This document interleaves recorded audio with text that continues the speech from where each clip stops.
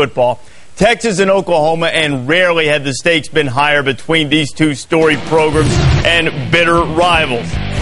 Mack Brown had only one conference and national title, largely because of the perception he can't get past Stoops. You had to look at Sam Bradford.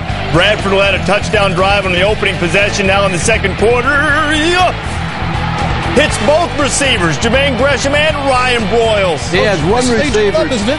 Up, isn't it? One receiver deep, one receiver short. To have it there, so you get a touchdown. Uh, is that the way you draw it up? No, not exactly, but if it works, put it in the playbook. And, this is not the way you like to have your kickoff coverage drawn up. A Pontiac game-changing nominee as Jordan Shipley goes the other way. It way. always bothers me when you only have one safety on a kickoff return because the kick returner can beat the one guy. You need to have two or three.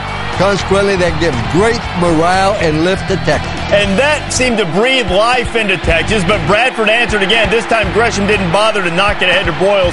He just took it himself. He was wide open, Mark, for 52 yards. And the reason why he's wide open, keep an eye on the defense of the Longhorns. Three defenders on Manny Johnson because he's the hot receiver out there. Look at this right there. Jermaine Gresham is wide open. Now it's a foot race to the end zone, and he wins it.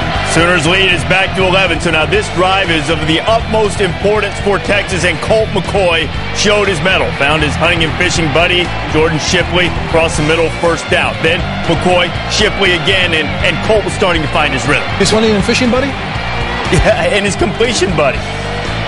Again, this time to Quan Cosby, who had a spectacular day as well, and now McCoy taking off under pressure, moving with his feet. Well, he makes a big play here, gets it in position where they can pick up the first down. Now this is a third down play, same drive. McCoy complete. Cosby slipping tackles. He's in the red zone, and Texas in scoring position to get out close again. McCoy on the move. Shipley just short of the end zone. Next play, they bring in the big fellas. Roy Miller, usually a defensive tackle. Look at that block he got for Cody Johnson.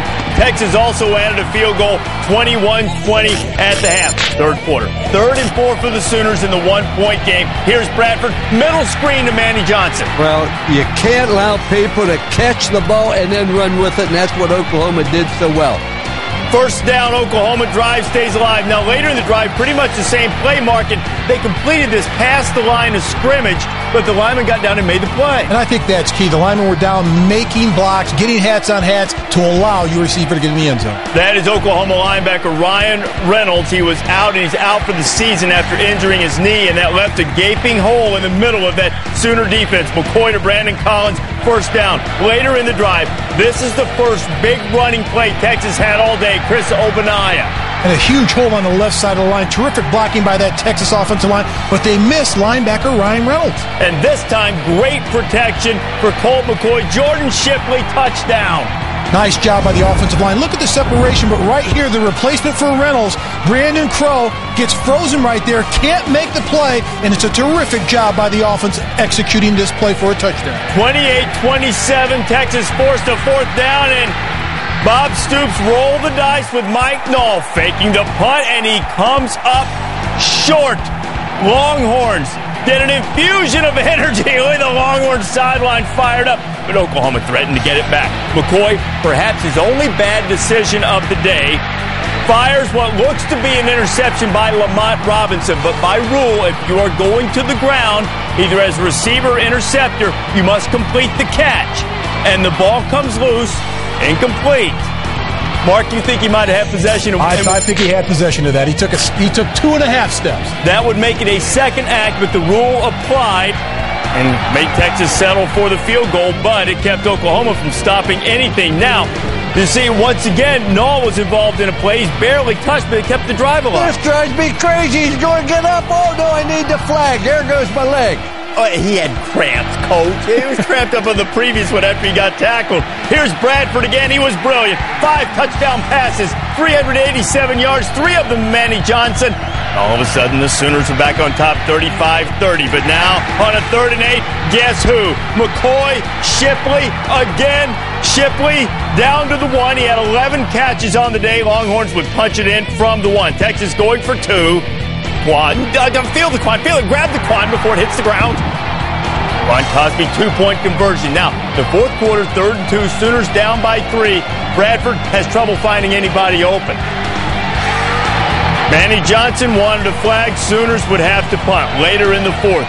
third and three, and this time Colt would convert to Ogbonnaya. What a fabulous job of Colt McCoy keeping the play alive, looking around to dump the ball off to get the first down. And here, look at the right side of the line pull, coach. You get great blocks down the field. Did a tremendous job there. They came with a blitz to the wide side of the field, got great blocking in the short field. A 62-yard rip for Ogbonnaya. The big fella's in the goal line package again. Cody Johnson finishes it off. 45-35, the highest scoring game in the history of the rivalry. And McCoy in the, in the Horns are victorious.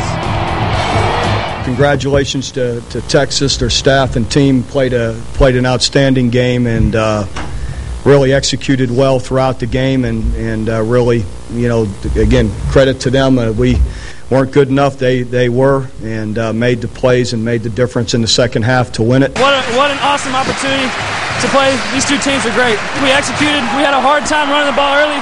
Uh, we, we passed the ball really well tonight.